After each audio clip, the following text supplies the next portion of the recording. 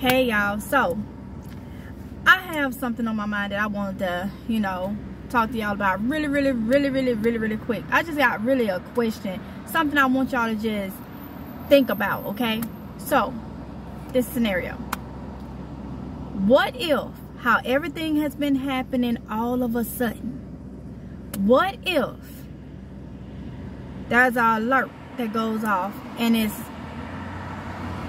people is calling everybody telling them to get their money out the bank.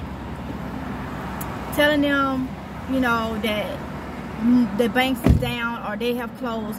What if you get that alert that your bank has picked up and left has shut its doors? No way to get your money. What would you do?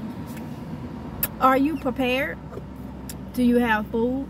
Do you have the necessities you need? At least to get you you know a couple months maybe a year. Um are you keeping money somewhere? I don't i, I wouldn't say you know you're not gonna tell somebody if you're keeping money at home that's not the best thing to do. But are you keeping money somewhere? Are you putting money back somewhere? Just think about that. How everything has been happening. And it's almost like a alert you know alert where you you going about your normal day you know? We going by our normal day we doing things and then it's just like bam like you know, you can't do this, you can't do that, you can't do this. What would you do? Those are the things I feel like we need to we need to think about. It hit my mind. I'm like, I wanted to share it with y'all because it hit my mind like, what would you do if that was the case? You know, you couldn't buy nothing or anything if you don't have no cash. And if you do, you may not have enough to do anything. What would you do? in y'all. I want to know y'all come well, y'all opinions. Put them in the comments below. That's what I'm trying to say. But I want to know that. You know, it was on. It's been on my mind for two days. And I'm like, you know what? I'm gonna go ahead do this video just to let it like get up here and and just marinate a little bit on. And it may be even better if you have the things that you need at home if you have the things that you need at home that where you don't have to buy anything but just what if, you know? What if?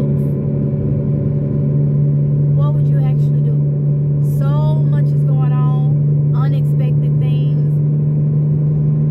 We got to start thinking about, you know, what we done already seen. Just like 2020. That was out the blue, you know?